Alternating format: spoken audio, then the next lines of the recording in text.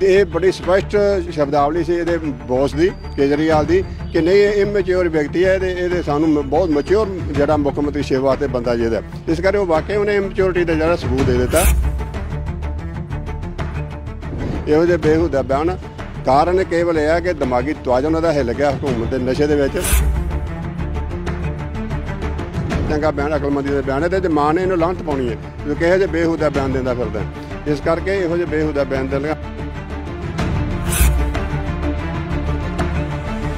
ਭਗਵੰਤ ਸਿੰਘ ਮਾਨ ਆਪਣੇ ਪਰਿਵਾਰ ਸਮੇਤ ਮਾਨ ਮੁੱਖ ਮੰਤਰੀ ਬਣਨ ਤੋਂ ਬਾਅਦ ਹਰਮੰਦਰ ਸਾਹਿਬ ਆਏ ਜਾਂ ਕਿਸੇ ਹੋਰ ਗੁਰੂ ਘਰ ਆਏ, ਜਿੱਥੇ ਸ਼੍ਰੋਮਣੀ ਗੁਰਦੁਆਰਾ ਪ੍ਰਬੰਧਕ ਕਮੇਟੀ ਦਾ ਪ੍ਰਬੰਧ ਚੱਲ ਰਿਹਾ, ਸੇਵਾ ਚੱਲ ਰਹੀ ਹੈ। ਜਿੱਥੇ ਵੀ ਗਏ ਨੇ, ਮੈਂ ਤਾਂ ਇਹ ਵੀ ਬੇਨਤੀ ਕਰੂੰਗਾ ਜੇ ਏਡਾ ਵੱਡਾ ਪਛਤਾਵਾ ਹੋ ਗਿਆ, ਲੋਕਾਂ ਨੂੰ ਵੀ ਅਪੀਲਾਂ ਕਰਦਾ ਹੈ, ਜੋ ਸਭ ਤੋਂ ਪਹਿਲਾਂ ਆਪਣੇ ਮਾਂ- ਪਰਿਵਾਰ ਨੂੰ ਪੁੱਛ ਲਵੇ, ਆਪਣੇ ਮਾਤਾ ਜਿਹੜੀ ਭੈਣ ਜੀ ਨੂੰ ਪੁੱਛੇ ਕਿੰਨੀ ਕਿੰਨੀ ਭੇਟਾ ਕੀਤੀ ਹੈ, ਇਹਨੇ ਆਪ ਖੁਦ ਮੱਥਾ ਟੇਕਣ ਲੱਗਾ ਜਿੰਨੀ ਭੇਟਾ ਕੀਤੀ ਹੈ, ਉਹ ਸਾਰੀ ਮਾਇਆ ਦਾ ਹਿਸਾਬ ਦਾ ਬਣਾ ਕੇ ਸਾਨੂੰ ਦੇ ਦੇਗਾ ਚੈੱਕ ਬਣਾ ਕੇ ਸ਼੍ਰੋਮਣੀ ਕਮੇਟੀ ਨੂੰ ਵਾਪਸ ਦੇ ਦੇਣੇ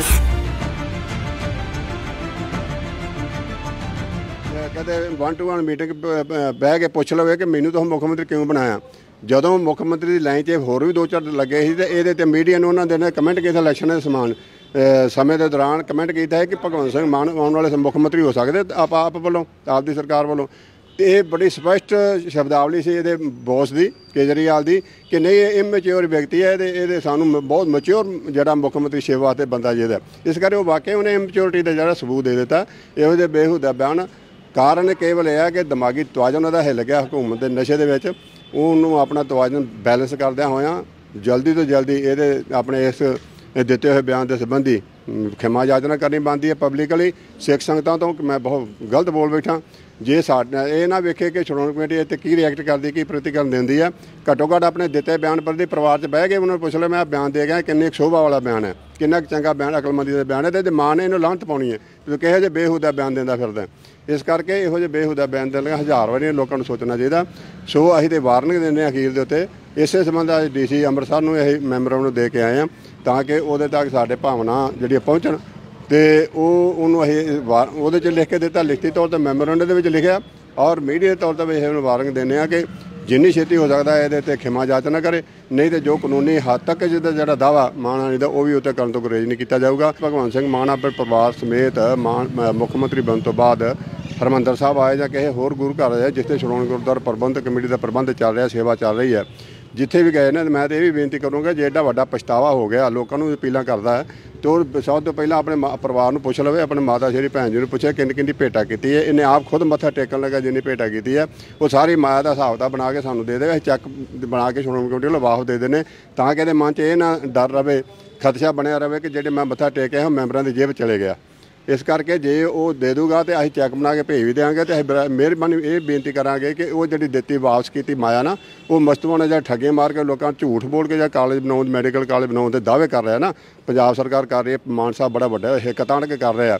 ਉਹ ਉਹਦੇ ਵਿੱਚ ਜਾ ਕੇ ਫਿਰ ਸੇਵਾ, ਸੇਵਾਵਾਂ ਲਾ ਰਹੇ ਨੇ ਕਦੇ ਮਨ ਦਾ ਪਛ- ਪਛਤਾਣਾ ਨਾ ਭਰਿਆ ਹੋਵੇ। ਸਭ ਤੋਂ ਵੱਡੀ ਦੁੱਖ ਦੀ ਗੱਲ ਹੈ ਕਿ ਜਦੋਂ ਤੋਂ ਇਹਨੇ ਹਕੂਮਤ ਸੰਭਾਲੀ ਹੈ,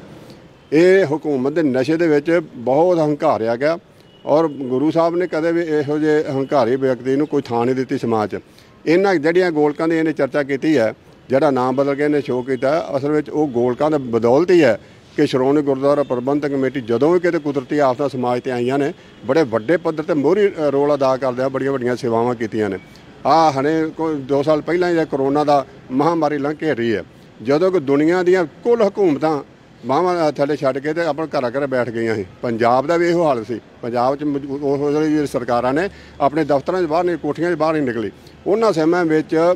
ਜਿਹੜੀਆਂ ਜਿੰਨੀਆਂ ਸਿੱਖ ਸੰਸਥਾਵਾਂ ਨੇ ਜਿਹਨੇ ਧਾਰਮਿਕ ਅਦਾਰੇ ਨੇ ਜਿਹਨੇ ਗੁਰੂ ਘਰ ਨੇ, ਕੇਵਲ ਤੇ ਕੇਵਲ ਜੇ ਮੋਹਰੀ, ਮੋਹਰੇ ਹੋ ਕੇ ਕੋਈ ਲੋਕਾਂ ਦੀ ਬਾਹ ਫੜੀ ਹੈ ਲੋਕਾਂ ਦੁੱਖ ਸੁੱਖ ਦੇ ਭਾਈਵਾਲ ਬਣੇ ਆ, ਸੇਵਾ ਕੀਤੀ ਹੈ ਤੇ ਉਹ ਕੇਵਲ ਤੇ ਕੇਵਲ ਗੁਰੂ ਘਰਾਂ ਨੇ ਹੀ ਕੀਤੀ ਹੈ ਸ਼੍ਰੋਮਣੀ ਗੁਰਦੁਆਰਾ ਪ੍ਰਬੰਧਕ ਨੇ ਬੜਾ ਵੱਡਾ ਰੋਲ ਅਦਾ ਕੀਤਾ, ਆਕਸੀਜਨ ਦੇ ਕੈਂਪ ਤੱਕ ਲਾਏ, ਮੈਡੀਕਲ ਕੈਂਪ ਲਾਏ, ਹੋਰ ਲੰਗਰ ਦੀ ਜਿਹਨੇ ਥਾਂ ਪਰ ਥਾਂ ਜਿੱਥੇ ਵੀ ਲੋੜ ਮਹਿਸੂਸ ਹੋਈ, ਉੱਥੇ 2 ਸਾਲ ਲਗਾਤਾਰ ਕੇਵਲ ਕਰੋਨਾ 'ਚ ਹੀ ਨਹੀਂ, ਪਿਛਲੇ ਸਮੇਂ ਦਾ ਟੋਟਲ ਸ਼੍ਰੋਮਣੀ ਕਮੇਟੀ ਦਾ ਇਤਿਹਾਸ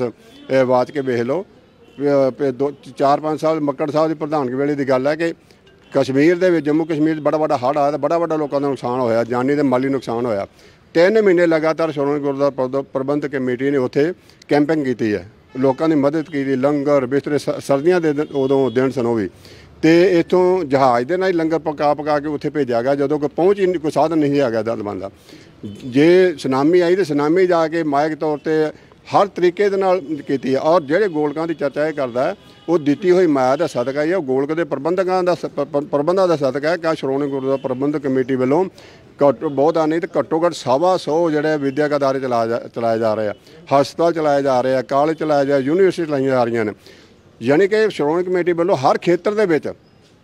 ਇਹ ਇਹੋ ਹੀ ਭਰੋਸਾ ਸੰਗਤਾਂ ਨੂੰ ਤੇ ਆ ਕੇ ਤਾਂ ਹੀ ਮੱਥਾ ਟੇਕਦੀਆਂ ਨੇ ਵੀ ਸ਼੍ਰੋਮਣੀ ਕਮੇਟੀ ਦੀ ਜਿਹਨਾਂ ਜਿਹਨਾਂ ਮੱਥਾ ਟੇਕ ਕੇ ਉਹਨਾਂ ਵਾਕਿਆ ਹੀ ਸ਼੍ਰੋਮਣੀ ਕਮੇਟੀ ਦੇ ਸੇਵਾ ਜਿਹੜੀ ਆ, ਬੜੀ ਸਾਰਥਕ ਤੌਰ ਤੇ ਉਹਦੀ ਵ- ਮਾਇਕ ਵਰਤੋਂ ਹੋ ਰਹੀ ਹੈ। ਇਸ ਕਰਕੇ ਇਹੋ ਜਿਹੇ ਬੇਹੂਦਾ ਬਿਆਨ ਦੇਣੇ ਆ, ਉਹ ਸੋਭਾ ਨਹੀਂ ਦਿੰਦੇ ਇਹੋ ਜਿਹੇ ਵਿਅਕਤੀ ਨੂੰ, ਇਹ ਵੱਡੀ ਪੋਸਟ ਤੇ ਬਣ- ਬਹਿ ਬਹਿ ਕੇ। ਅਸਲ ਵਿੱਚ ਇਹਨੂੰ ਭੁਲੇਖਾ ਹੋ ਗਿਆ ਕਿ ਮੈਂ ਬਹੁਤ ਸਿਆਣਾ ਸਾਂ, ਤਾਂ ਮੈਨੂੰ ਮੁੱਖ ਮੰਤਰੀ ਦੀ ਜਿਹੜੀ ਪਦਵੀ ਮਿਲੀ ਹੈ